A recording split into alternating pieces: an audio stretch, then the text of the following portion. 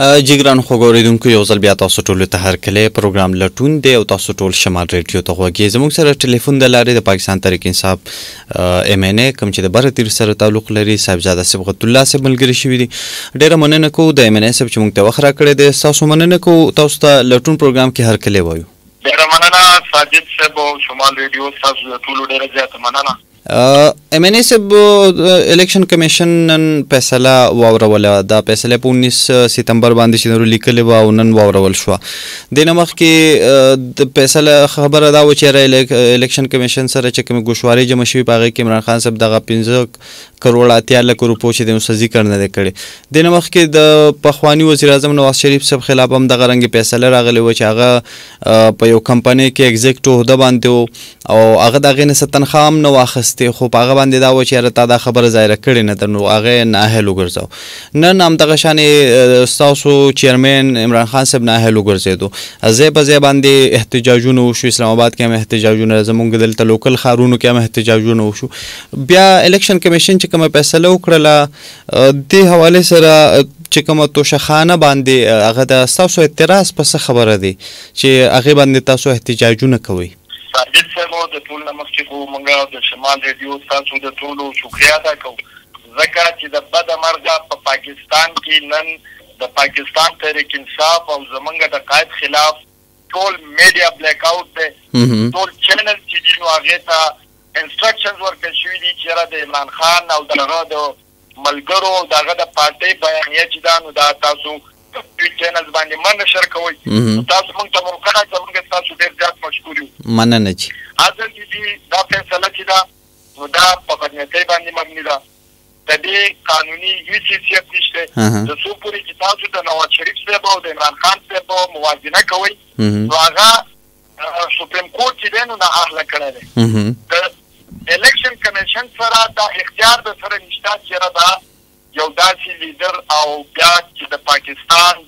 ټول عوام د هغې په شا باندې ولاړ دي دا یو جانبدار الیکشن کمیشن دی د دې الکشن کمشنر خلاف موږ نه مخکې هم په دې باندې ټکونه کړي دي او موږ ودیو چې د کړي دي چې دا د یو پارټۍ یو ورکر هلته کې ناست دی او دا د تعصب نه ډک دی لهذا مونږ مخکې دا خبره کړې وه چې یاره زمونږ سره مونږ په دې پوه یو چې دا زمونږ سره انصاف نه شي کولی د توشخانې په باره کې پکار دا ده چې دا د نواز شریف صاحب کیس هم واوري پکار دا ده چې د زرداري صاحب کیسونه هم د هغه هم واوري مونږ افسوس کوو چې یاره د هغه کرپت مافیا خلاف چې په عدالتونو کې کیسونه او هغه کلیر شو او چې د ملک یو حقیقي لیډر چې په هغې پسې ټول د پاکستان قوم ولاړ دی او د نن نه هفته مخکې تاسو ټول قوم او دا ټول میډیا او دا ټول پاکستان او دا ټول دنیا په دې باندې ګواه ده چې د عمران خان خلاف ټول سیاسي ګوندونه ورسره الکشن کمېشن ادارې چې د عمران خان خلاف په مېدان کې ولاړ وو خو د هغې باوجود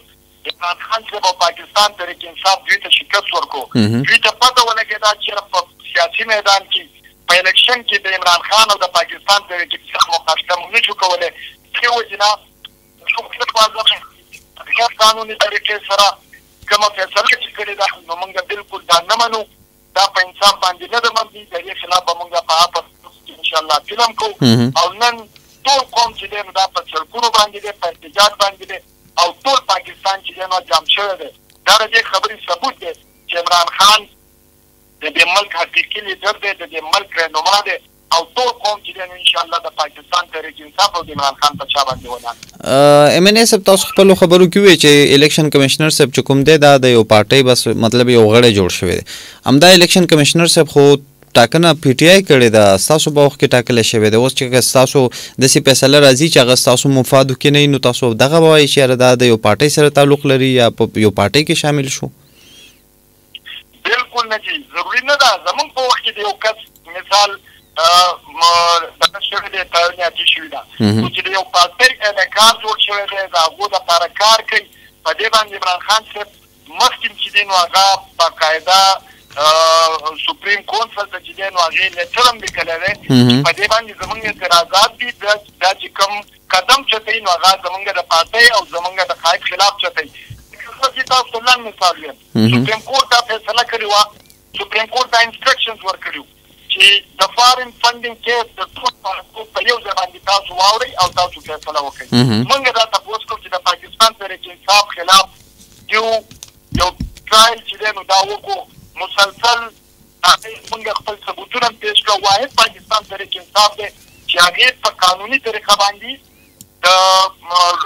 ځمکی دا چنده کړی ده د خپل پاکی لپاره د هغی ثبوتونه ورته مونږ پیش کړه خو د هغی باوجود مونږ دا تپوس کوو چی آیا د پاکستان پیپلز پاتی خلاف هغو دا قسم ټرایل وکړو آیا د پاکستان مسلم لیګ خلاف هغو دا ټرایل وکړو لحاظه مونږ ځکه دا وایو چې دا یو جانبدار الیکشن کمشنر دی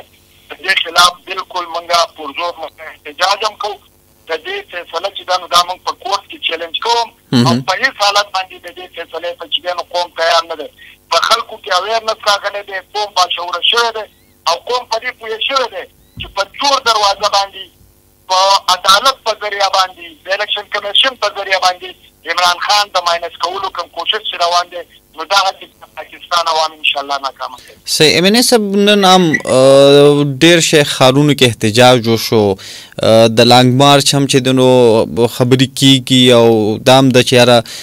عمران خان صاحب میسج ورکړی چې کم ایم ان ای یا ایم پی ایس زیات ورکران را ویستو لانګ مارچ لپاره ماغه ته بچی د پارټي ټیکټ هم ورکو مطلب دا دی چې لانګ مارچ دین کامیاب شي او د پاکستان معاشي صورتحال هم تاسو مخ ته د نن اف ټی اپ هم ناشته خبره فیصله به کوي د پاکستان چې پابندیان ختم کو کنه برقرار وساتو په داسې ټولو حالاتو کې چې پاکستان معاشي حالت هم خراب دی تاسو لګيا يې احتجاجونه جلسې جلوسونه کوئ عوامو ته دغې نه هم تکليف رسيږي ستاسو د احتجاجونو سره پاکستان ته هم نقصان کيږي ډالر قيمت اوچتيږي نو لږ وخت نه دی چې ياره تاسو هم د اليکشن کميشن په دې فيصله سپريم کورټ ته لاړ شئ په ځای د دې چې سړکونو ته راوځئ ساجد صاحب تاسو د خبرې سره زما اتفاق دی په ملک کی اکنامک سټیبیلیټی د هغه پوری نشی راتلی د څو پوری چی پولیټیکل سټیبیلیټی نه وی پولیټیکل سټیبیلیټی زه دا تپوس کوم د پاکستان عوام دا تپوس کوي چی د ډیف فس نه کله زمونږ حکومت راغلی دی کله چی عمران خان صاحب حلف چت کړی دی تاسو وګورئ چی د هغه ورځ نه په نیشنل اسمبلی کی دغه قوتونو دا پی ټی ایم چی قوم مسترد کړی دی دغه قوتونو د عمران خان خلاف هلته کې احتجاجونه نه کول زه دا تپوس کوم ولې آیا مولانا فضل الرحمن څه ځله اسلام آباد ته د درنې لپاره نه دی راغلی زه دا تپوس کوم چې بلاول بټو د کراچۍ نه را روان شوی او اسلام آباد ته را رسېدو نو ولې موږ ورته اجازه نه ورکړی مریم نواز ولې احتجاج نه وکړی واحد پاکستان تحریک انصاف وو چې دې خلکو ته پرې ورکړی دا یو جمهوري معاشره کې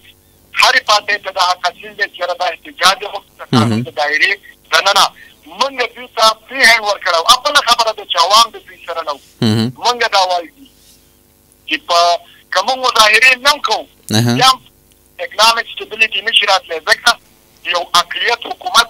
یو اقلیت پارټي دا په اکثریت باندې یو غالب کړې ده، امپورټډ حکومت چې د دې. قانوني د سره څه اختیار نشته نن هم په پارلیمنت کې پاکستان تحریک انصاف سیند د ټول نه غټ سیاسي ګوند دی په کوم یو جمهوري معاشره کې تاسو ماته دا ووایې اخلاقي طور قانوني طور پولیټیکل طور په کوم یو معاشره کې داسې شوي ده یاره یو سیاسي ګوند په اسمبلۍ کې هغه په اکثریت کې او اقلیت چې دی نو هغه په حکومت کې مونږ ځکه دا وایو چې د پاکستان د معاشي صورتحال حل چې دی نو هغه په فريش اليکشن کې دی په فريش مينډيټ کې دی د پاکستان عوامو ته دي حق حاصل دی يرا دا حق دي هغو ته ورکړي چې يرا هغه د خپل ليډرشپ او د خپل حکومت هغو په خپل انتخاب وکړي ځکه موږ دا وایو چې يرا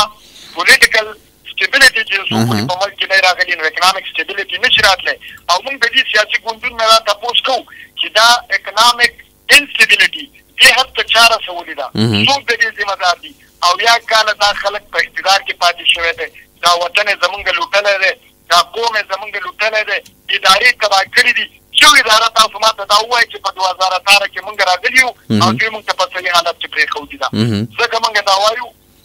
چې دا موجوده سم روان دي، دا کومه سیاسي ډرامې روانې دي نو دا د پاکستان